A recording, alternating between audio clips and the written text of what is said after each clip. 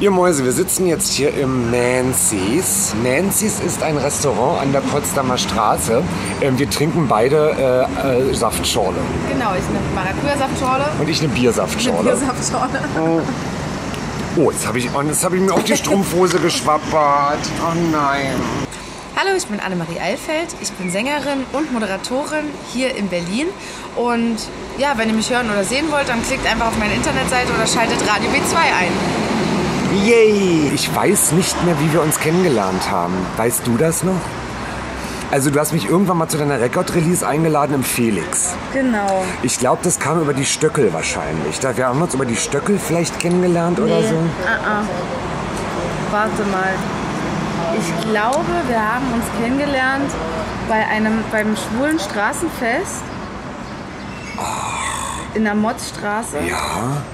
wo du irgendwas gemacht hast.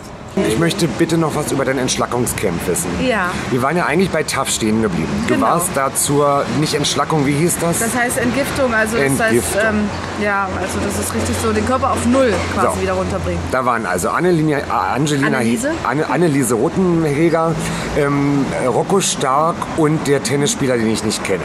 So. Und dann, äh, und dann wolltest du mich vorhin erzählen. Und die Anne, Angelina Heger, da hat dir jeder vorher schon gesagt, ui, pass auf, das ist eine Scheißkuh. Darfst du das überhaupt alles erzählen? Klar. Nicht, dass du dann wieder Ärger bekommst oder so. Ja, Von okay. denen ist mir doch egal, wenn es wichtige Leute wären. Aber Gut. Ja, du wirktest auch so, also ich habe die erste Folge, wie gesagt, nur gesehen und du wirktest auch schon von Anfang an angepisst wegen der anderen drei. Nee, gar nicht. Also das war ich, das, das Nee? Sah, nee, nee, also das sah dann wirklich nur so aus. Es Okay. War, ich mag das halt nur nicht. Also ich finde es immer so ein bisschen anstrengend, wenn Leute sich die ganze Zeit in die Kamera drängeln und nur überlegen, was sie machen können, um aufzufallen, um, um in der Kamera äh, stattzufinden, um die Sendung zu bereichern durch ihre Anwesenheit.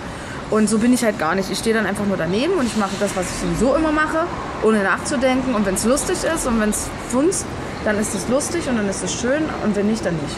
Und sag mal, und hat die Angelina finde das immer so anstrengend, so dieses. Und ich halte mich dann immer zurück. Ich bin dann immer so, ich gehe dann immer so ein bisschen die quatscht in einer Tour, die Annemaria. Weil die Annemaria hat sich jetzt nämlich erstmal schön Nachschuss bestellt, ja, mit Jo. extra Guacamole. Hat die mal ihre Titten gezeigt, die Angelina Heger?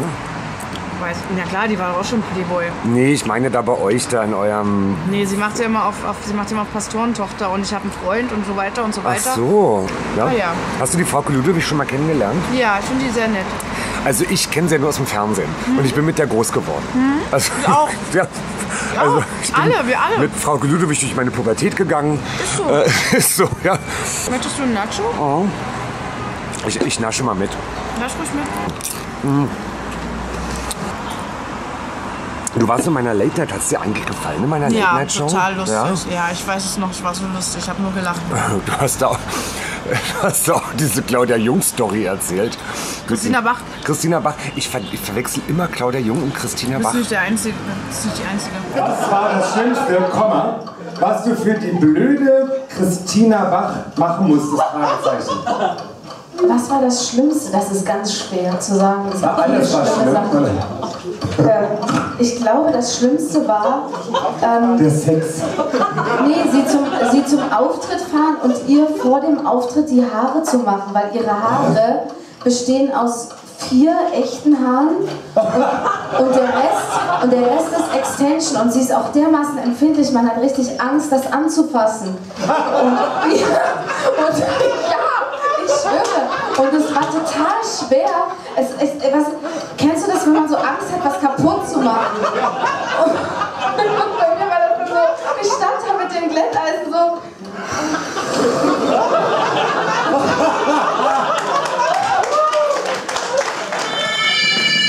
Hallo.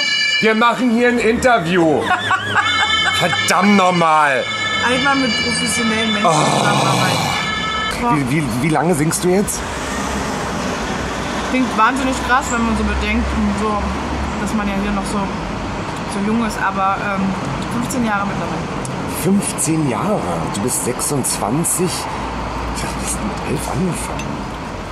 Mit elf äh, Geld schon verdient mit Musik.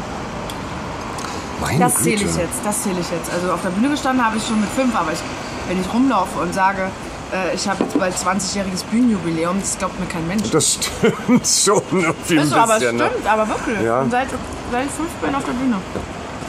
Wie und was hast du als fünfjähriges Kind auf der Bühne gemacht? Gesungen, Weihnachtslieder. Ja.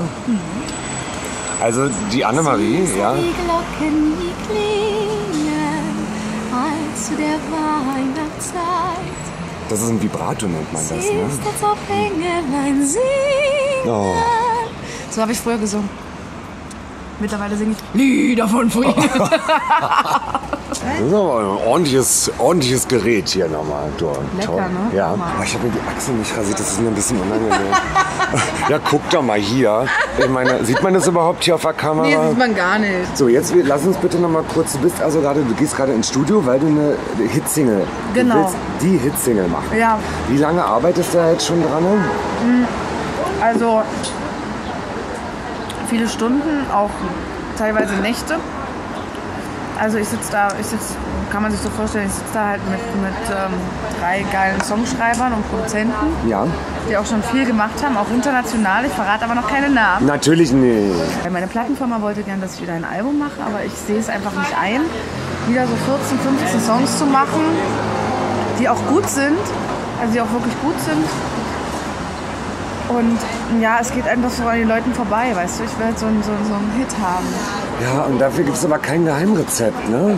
Nimm eine Million Euro und dann schaffst, dann schaffst du einen. Also das ist wirklich deine Theorie. Je das mehr ist nicht Geld, meine Theorie, das ist so. ja, je mehr Geld, desto größer ist die Klar, Chance. du kannst alles, du kannst alles kaufen heutzutage. Ja, aber ich meine, also weiß ich, zum Beispiel in der, in der aktuellen Popmusik zum Beispiel, jetzt um mal kurz in den Popbereich zu wechseln, Mhm. Gerne. mich langweilt die aktuelle Popmusik extrem, weil sich alles gleich anhört. Das stimmt. Man kann die alle nicht mehr unterscheiden, ob sie irgendwie eine... eine Das ähm, stimmt, vor allem die Sänger. dann- Vor allem die Männer, finde die ich. Männer, aber die Frauen auch. Also ich finde zum Beispiel, dass diese Bonbon-Frau Ja. ähm, aus, aus ähm, Albanien genauso klingt wie Rihanna. Ja, ja, ja. Go, go, go, Ricky Martin. Ach, dieser Fußballsong, Oh. ne? Ja. Oh, den hasse ich ja. Echt? Oh, ich finde aber auch Ricky Martin fürchterlich. Wirklich? Wahrscheinlich. Ja, ja. Den könntest du mir nackt auf den Bauch binden. Was? Boah, Oh Gott. widerlich. widerlich. Ja. Neulich war ich hier bei Wulle, bei Woolworth vorne. Mhm. Äh, da habe ich Hundefutter gekauft. Ah ja. Für Und dich oder für den Hund? Nur für mich. Ich ernähre mich ausschließlich von Hundefutter. Ja. Das ist das Figurgeheimnis. Fleischliche Rest, Restprodukte. Und dann lief ähm, von Sarah Connor All deine Farben oder wie das heißt. Deine Farben, wie schön du weißt du nicht, wie schön du bist. Und da habe ich mir das Album runtergeladen von Sarah Connor. Und ich bin, ich bin wahnsinnig begeistert von diesem Album. Ich finde, das ist wunderschön geworden. Was sagst du dazu? Nicht. Nee? Ich bin großer Rosenstolz-Fan. Also es hätte mir eigentlich gefallen müssen, Ja, ne? aber tat's nicht. Und Hat weil... mich nicht gekriegt, weil es mich nicht gekriegt Schade, hat. mich total. Ich weine die ganze Zeit. Ja? Ja. Die berührt mich so dermaßen, dass ich am Heulen gar nicht, zu weil ich Hause weiß, bin. dass es bei ihr nicht echt ist. Weil ich weiß, dass sie das nur macht. Ich, ich, war mal, ich war mal vor Jahren, war ich mal in der schwulen Sauna hier in Berlin zum Bumsen. Ah ja. Und äh, da stand Peter Plate. Er an- er hat sich eine, da kann man so Kabinen mieten, wo man sich dann zurückziehen kann, um dann Aha. zu bumsen. Ja, weiß ich ja nicht. Ja, jetzt weißt du es. Und kostet aber natürlich extra. Und da stand Peter Plate den ganzen Abend ähm, Paarungsakt willig an seiner Tür und niemand wollte mit Peter Plate bumsen. Und der hat mir so leid getan, dass ich kurz davor war, einen Mitleidsfick mit ihm zu machen. Habe ich aber dann doch nicht gemacht, weil der ist ganz klein.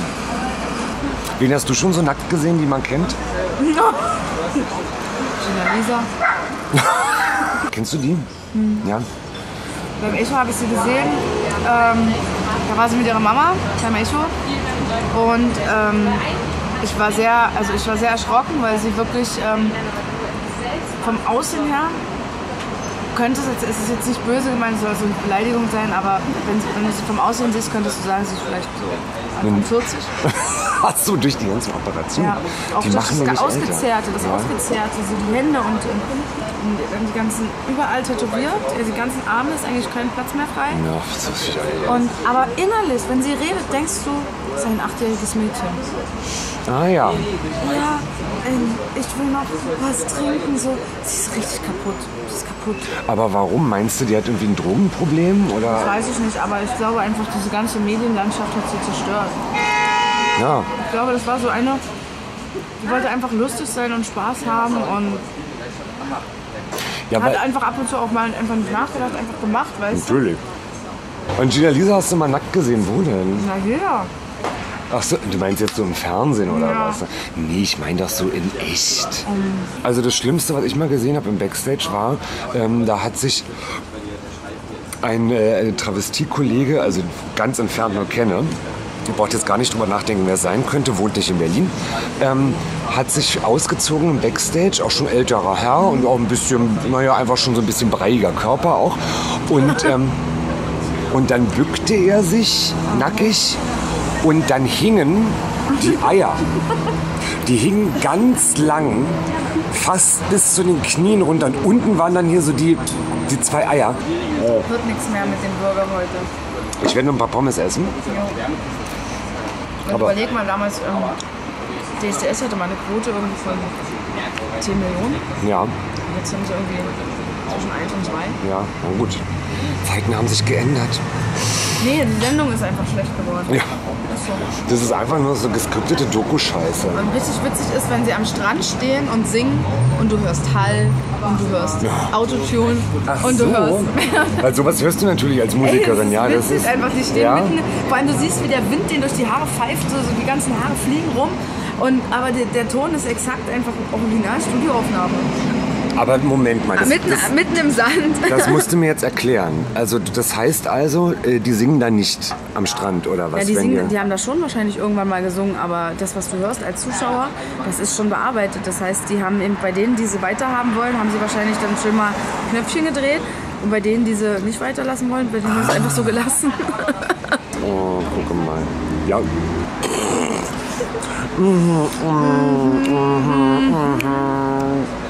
So, wir machen jetzt ein Selfie, ist ganz wichtig. Warte, Moment, ich bin, ich bin noch nicht. Kennst du schon die T-Rex-Hand? Das ist Nee. der neue Selfie-Trend. Habe ich in einem? Touch gelesen. Wie ist die? Ähm, so. Du bist doch, du bist doch Ich ständig bin nur mit- damit beschäftigt, mich zu restaurieren. Ich wollte gerade sagen, Generalüberholung. Ist so.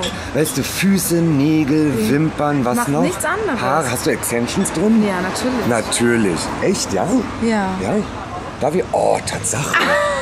Hätte ich, nicht ged- hätte ich nicht gedacht. Ja, ja, Ne? also ich bin eigentlich permanent nur damit beschäftigt, mich wieder, mich wieder auf Vordermann zu bringen. Immer so, wenn. Und hast du schon mal irgendwie was machen lassen? Nee. Nein? Aber du würdest, wenn es Zeit ist? Weißt du, wie ich später aussehe als alte Frau? Oh, jetzt kommt. Jetzt bin ich ja gespannt. ja, ja, ja, toll. Oh, das steht hier. Siehst leicht, leicht asiatisch dann aus. Toll. Wie sehr hat es dir mit mir gefallen, Annemarie? Sehr hat es mir gefallen. Ja? Ich habe sehr viel gelacht. Ja? Ich habe ähm, gut gegessen, bin jetzt ein bisschen satt, ein bisschen, ein bisschen schlecht. Ich habe wieder übertrieben. ähm, Du kannst gerne mal rülpsen, wenn du willst. nee, muss ich nicht. Nee, okay. Muss ich gar nicht. www.facebook.com slash Eilfeld. Eilfeld. Eilfeld. Und Sie finden mich auch auf Snapchat. Ach, den Snapcode muss man jetzt zeigen. Oh, ja, ja. So ja. sehe ich aus. Auf Snapchat bist du Wollen, total noch, aktiv. wollen wir noch Witze erzählen? Kannst du einen Hast du einen erzählen? Lieblingswitz? Ich bin ja gar kein Witzeerzähler. Nee? Ich kann, äh, nee, ich, nee. Wissenschaftler haben herausgefunden und sind dann wieder reingegangen. Oh, da, der braucht noch mal kurz eine Sekunde, Ja. bis ich ihn verstanden habe. Ist aber auch nicht so lustig. Nee, ist nicht so lustig, Also- aber ist ganz, ist ganz nett. Aber äh, zum Beispiel treffen sich zwei, sagt der eine zum anderen, äh, was machst du eigentlich beruflich? Sagt er, ich mache Schlüssel nach. Der andere so, okay, und was machen Schlüssel so? Ja. Ach, Annemarie, kannst du einen richtigen Knaller jetzt mal erzählen? Eine Blondine, eine rothaarige und eine schwarzhaarige gehen in die neunte Klasse. Wer von den dreien hat die größten Brüste? ich würde sagen, die Blondine ist aber wahrscheinlich nicht so. Ja, und warum? Warum? Ja, ne? Warum die die größten Brüste hat? Ja, pff, keine Ahnung. Also die Blondine war schon richtig. Und warum? Ja, neunte Klasse, sie ist schon 19. So, Mäuschen, wir sagen Tschüss, weil es, ich habe jetzt auch keinen Bock mehr. Ich will dir aus dem, aus dem Fummel raus. Raptorhand. Wir sagen noch Raptorhand und T-Rex-Hand. Vielen Dank, dass du dich hier mitgemacht hast, mein Schatz. Und äh, wir machen mal wieder irgendwas zusammen. So wie man es bei uns in der Branche sagt, wir müssen mal was zusammen machen. Ja, wir müssen echt mal, wir reden jetzt drüber, hier beim, Wir beim jetzt Essen ganz drüber, ja. Kaffee. Tschüss. Sharing is caring.